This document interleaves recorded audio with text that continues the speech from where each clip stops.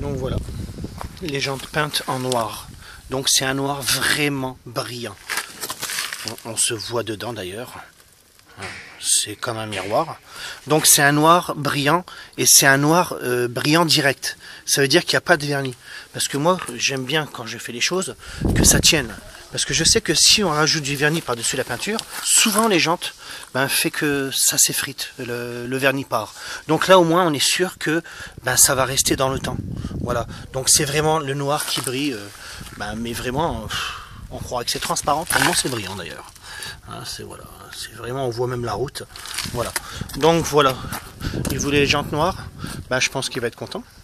Voilà, ça change totalement. C'est vraiment super beau. Encore une mission accomplie pour moi. Et comme je dis toujours, fin de citation.